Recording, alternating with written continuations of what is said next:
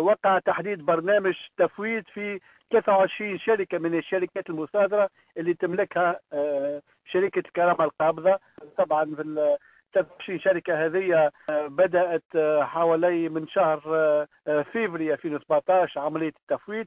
ثلاثة منهم شركات وقع التفويض فيهم يعني انتهت الإجراءات في نفس السنة في 2017 بمبلغ حوالي 100 مليون دينار بصفة مباشرة و25 مليون دينار بصفة غير مباشرة أداءات على القيمة الزايدة في الشركات يعني حوالي مبلغ 125 دينار مباشرة وغير مباشرة. هذا بقطع النظر عن عن الأراضي المصادره واللي هما جابوا مبلغ حوالي 75 مليون دينار. اللي ما صارش ما يكملش في 2017 باش يكمل في 2018 وتبدأ من شهر جانفي يعني انهاء العمليات اللي بدأت في 2017 منهم خاصة آه، شركة آه، آه، اسمنت قرطاج وشركات فورد وهيونداي les concessionnaires نتاع فورد وهيونداي وطبعا بنك الزيتونه وزيتونة تكافل.